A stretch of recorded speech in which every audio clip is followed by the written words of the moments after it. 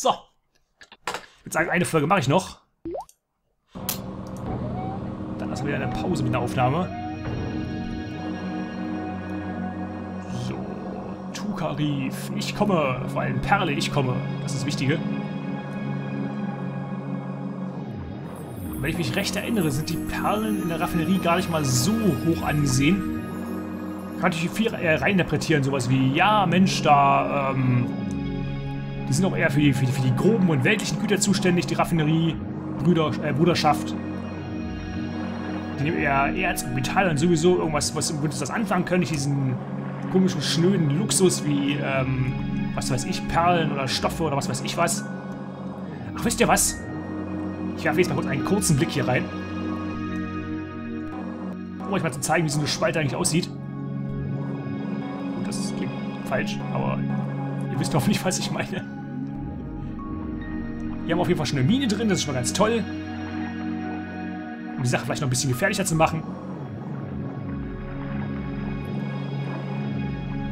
Und hier ist eine Höhle. Und ach, guck mal, Metall. Zwei Metalldinger im Spalt. Ist ja ganz wundervoll.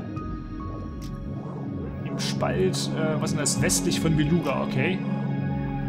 Und eine weitere Höhle. Wisst ihr was? Ich fahre jetzt in die weitere, in die nächste Höhle rein.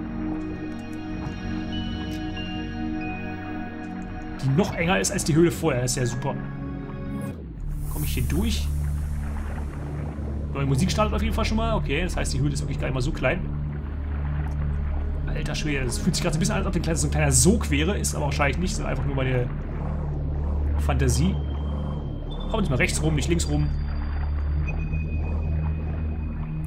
Ach ja, und jetzt sieht man auch wirklich, nicht, nicht in Höhlen an sich ist, das, ist die Orientierung schwierig, sondern in Spalten unter Höhlen, weil die nicht als einzelne Höhlen angezeigt werden. Wie ihr gerade seht, oben auf der Karte, bewege ich mich scheinbar genauso gut, äh, könnte ich genauso gut 100 Meter weiter oben sein, oder 100 Einheiten äh, weiter, äh, weiter oben sein. Also, dass ich nicht sehen kann, ähm, wo genau jetzt ich hier eigentlich bin, beziehungsweise wenn ich jetzt in irgendwelche Gänge komme, ob ich wieder rauskomme oder sowas. Die Höhle ist ganz schön groß, aber einiges mitmachen, kann man direkt eine Stadt drin verstecken. Ich hau mal so ein bisschen die Wände ab. Hier ist nichts, okay. Kann das sein, dass hier irgendwann später im Spiel nochmal irgendwann was ist? Oder. Das habe ich mich sowieso gefragt. Ui. Vier Erz? Da, werden wir noch viel Spaß haben. Ich werde ganz kurz mal einen kleinen Schnitt machen müssen, weil hier gerade meine Mitbewohnerin kommt, die keinen Schlüssel hat. Wir sehen uns gleich wieder. Bis gleich. So, hier bin ich wieder. Upsala. Taste, gut. So.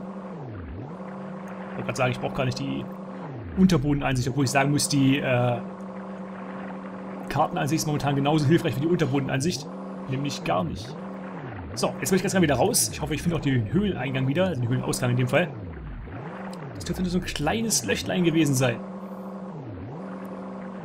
Hilfe. Ich will hier wieder raus. Theoretisch müssen wir nur am Rand lang fahren. Müsste irgendwo sein. Ist das hier? Nein, hier ist es nicht. Nein. Nein. Und ich sag noch, ach ja, man kann sich übrigens total verirren. Ja, hier bin ich wieder beim Erz, ist ja ganz toll.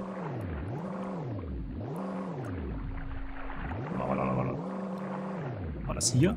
Ja, da war's. Uiuiuiui.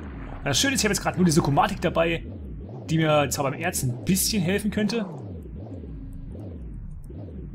Aber ich würde es auch lieber mit dem Greifer machen. Aua, aua, aua.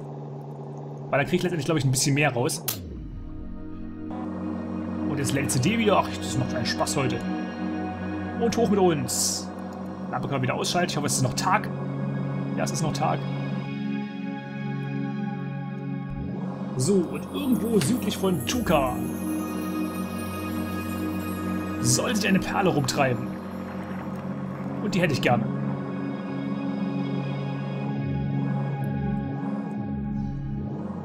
Was, südlich von Tuka? Was habe ich denn für Mist geschrieben? Südlich von Tuka, tatsächlich. Ah. Naja. Ach, das ist Beluga. Beluga ist nicht ohne Perle. Ja. Kronkorken nördlich von Beluga und eine Perle nördlich von Beluga. Nämlich halt die, die nämlich halt Beluga. Perle ist auch okay. Ich werde nicht mal eine Perle finden hier. Oder eine Perle weggreifen. Ich möchte nicht eindocken. Nein, noch nicht. Erst eine Perle docke ich ein. hier ist es definitiv nicht. Denn hier war ich noch nicht. Sagt mir zumindest die Karte. Hier ist Erz wieder. Ich gehe am Stock, ey. Das ist nicht normal. Hier ist ein Kronkorken. Und hier ist die Perle. So, F3. Hier müssen wir echt ganz vorsichtig sein, weil die Perle, ach die Perle, die Muschel schlappt relativ gerne mal zu. Das heißt, ich sauge schon aus relativ großer Höhe. Moment, F5, ja genau. Ich will nicht kämpfen, nein, lass mich in Ruhe. Oh, willst du kämpfen? Das war auch nur so ein Auftakt für, ich will übrigens kämpfen. Verpiss dich, du Kackpirat, das ist meine Perle.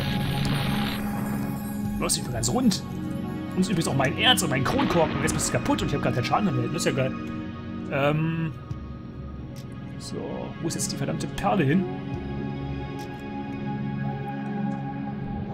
Äh, sie ist nicht unter mir. Ach, da ist, da ist sie. Da ist sie. Ganz vorsichtig und ganz leise.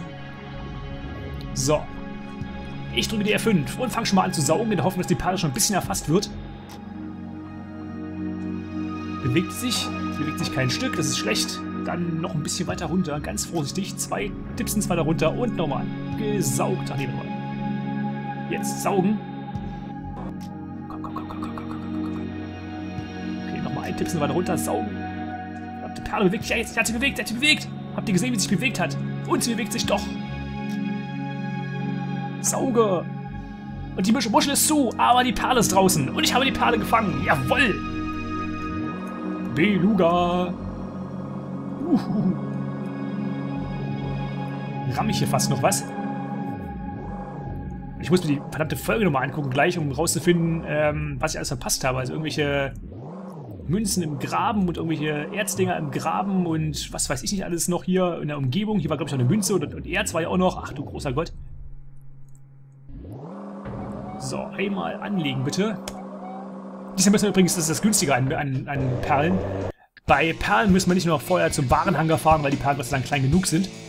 So, Bingo, was zahlst du euch denn für Perlen? Güter? Ach, stimmt, hier noch Metall dabei und sowas.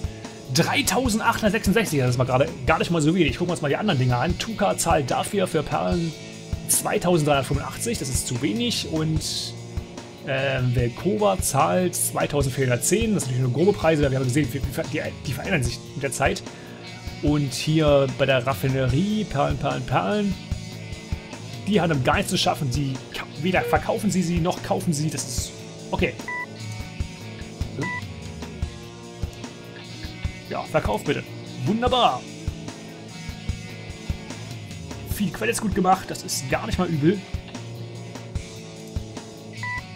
Äh, warte mal, was haben wir denn hier? Wir hatten einen Greifer, weil hier war doch irgendwo Erz im Spiel. Einmal ablegen, bitte.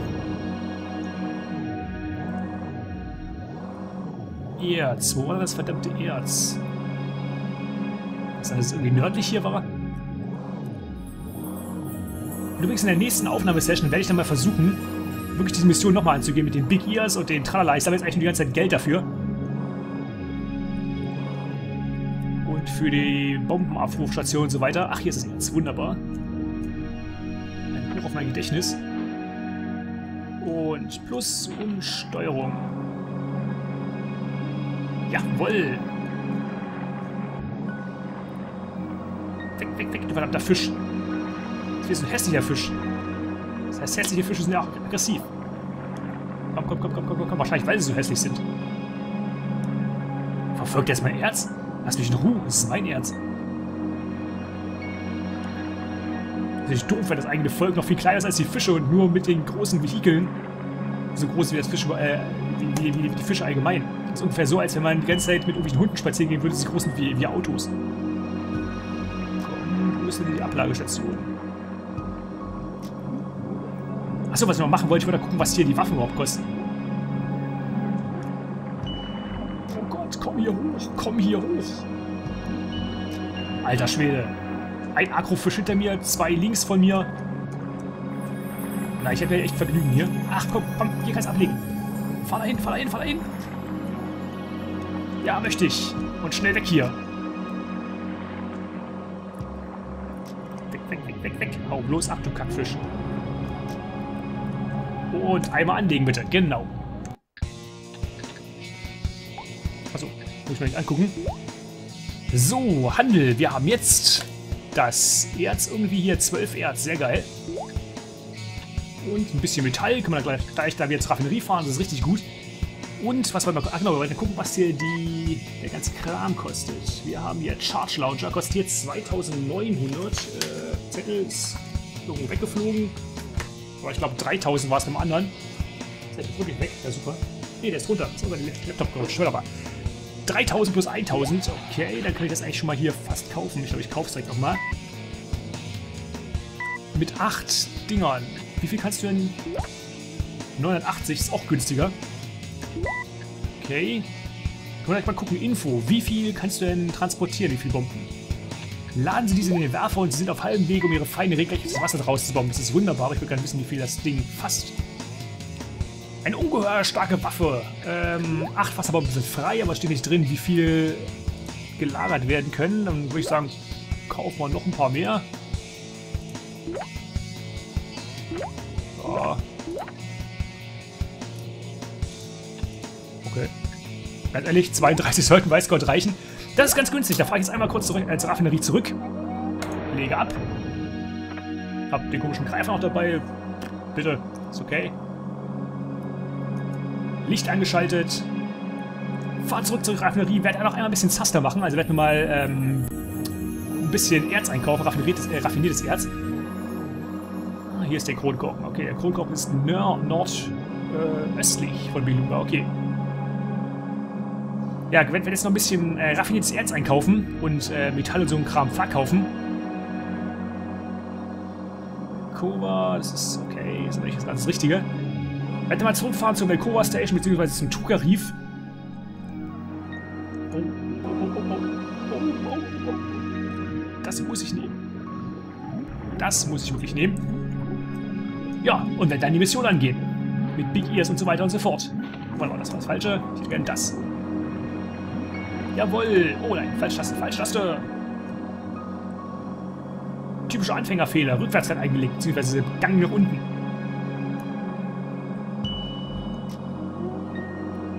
Frage mich gerade, wie viel Geld hier Fahrschulen machen müssen, man muss, muss hier echt eine übelst räumlich... Ach, du brauchst aber eine Münze in der, mitten der Bekova Station, ist auch krass.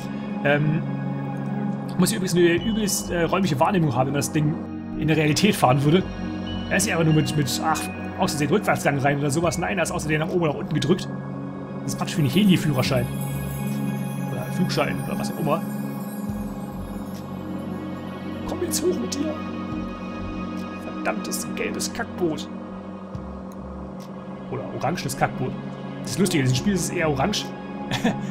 auf, dem, auf dem Bild, aber im, im Screen ist es total gelb, aber okay. Muss man hinnehmen. Ist eigentlich auch gar nicht so wichtig, solange es nicht rosa ist. Kleines Schweinchen-U-Boot. Komm, komm, komm, komm, komm. Einmal abladen bitte und dann gleich hier geradeaus durchfahren. Und anlegen, genau. Ja. Handel. Gucken unsere Güter an. Unsere Güter sind ganz hervorragend. Wunderbar. Dann würde ich sagen, einmal ablegen.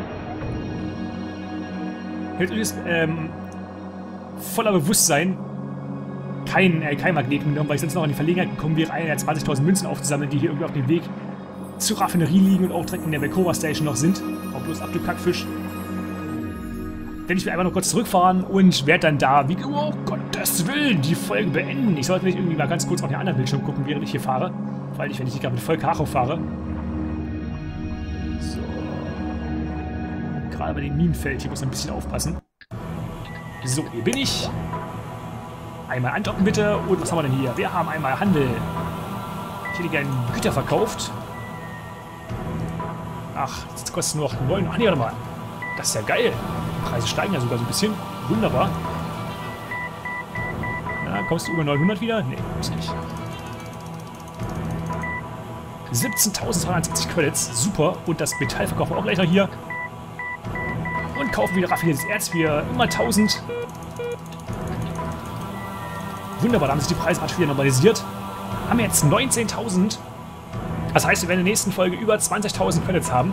Also 20.000 Credits bekommen. Das ist richtig gut.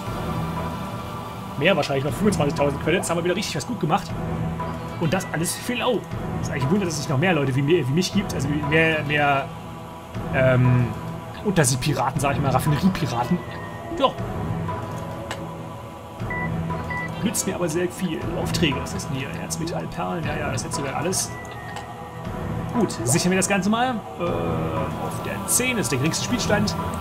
Und wir sehen uns beim nächsten Mal wieder, wenn ich versuche, diese todesmutige, also wenn ich todesmutig versuche, diese abartig schwere Missionen äh, hinzubekommen, jetzt mit, mit, mit 32 Death Charges und zwei äh, Schild, also Rumpfreparaturen mehr oder Rumpfverstärkung mehr, sollte ich es hoffentlich hinbekommen. Wer bin dann noch irgendwo bei Beluga oder irgendwo anders noch, wo auch immer wir anfangen soll, beim Schweiteninstitut oder keine Ahnung, war das bei Schweiten? Weiß es gar nicht mehr. Ein Big Ear Gerät kaufen. Ah, das werden wir alles nochmal in der, in der Beschreibung sehen.